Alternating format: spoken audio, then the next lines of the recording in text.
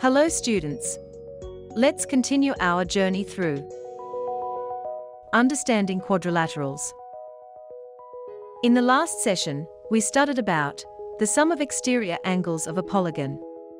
Today, we will be dealing with different types of quadrilaterals like trapezium and kite.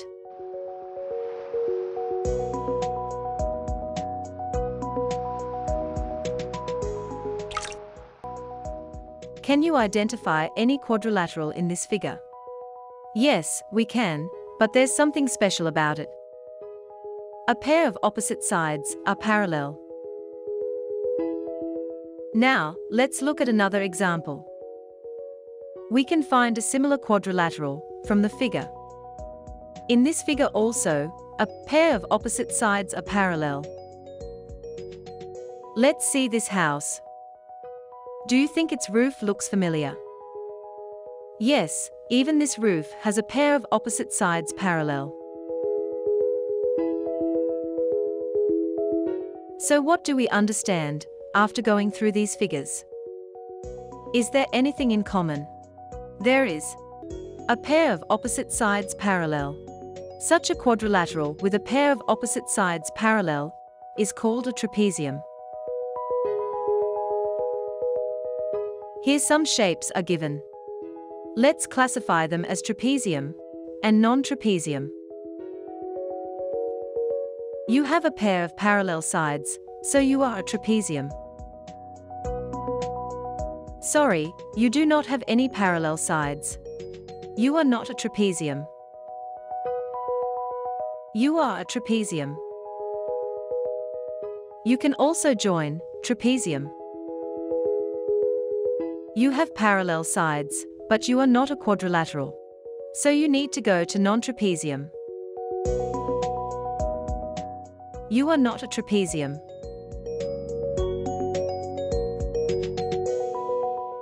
From this classification, we can make out that a trapezium is a quadrilateral with a pair of opposite sides parallel. Now, let's see our special type of trapezium. Here, you can see the trapezium, A, B, C, D. Check the length of sides AD and BC.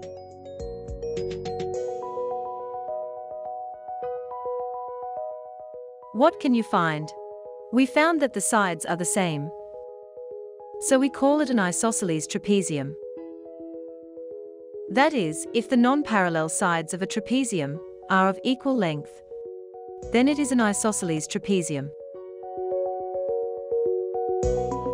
Now let's learn another kind of quadrilateral, that is kite.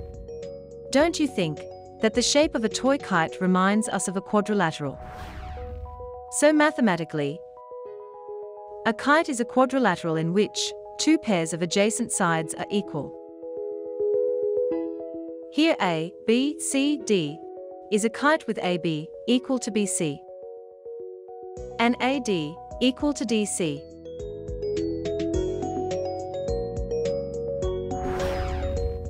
Can you find any other examples? What do you think of a trowel? Or what also a sphere? Don't they look similar to a kite? Now, let's see some peculiarities of a kite. In kite A, B, C, D, AC and BD are diagonal, and they meet at M. Now let's check how they cut each other. Check the length of each segment. We can see that the length of AM is equal to the length of MC, and the length of BM is not equal to the length of MD. That is, in a kite, longer diagonal bisects the shorter diagonal. Now let's check the angle of intersection. What can you understand from this? The angles of intersection are 90 degree. That is, in a kite, the diagonals are perpendicular. In kite ABCD, AC is the longest diagonal, also called main diagonal. It divides the kite ABCD into two triangles, triangle ABC, and triangle ADC. Is there any peculiarity for these two triangles? Let's check. Since ABCD is a kite, the sides AB equals AD and BC equals DC. And AC is the common side for these two triangles. Therefore by SSS congruence rule, triangle ABC congruent to triangle ADC. That is the main diagonal divides the kite into two congruent triangles. Angle B and angle D are the corresponding angles of these two congruent triangles. That is angles opposite to the main diagonal are equal.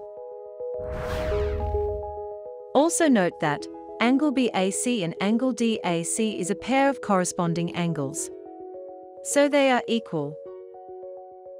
And angle BCA and angle DCA are another pair of corresponding angles. They are also equal. That is the main diagonal bisects the angles at its both ends.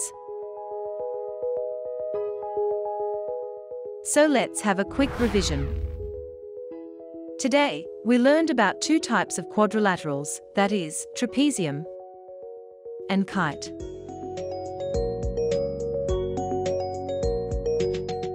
So, that's it, and before winding up, I will give you a simple activity. Check if a square is a trapezium or kite or neither. That's all for now. See you all in the next class.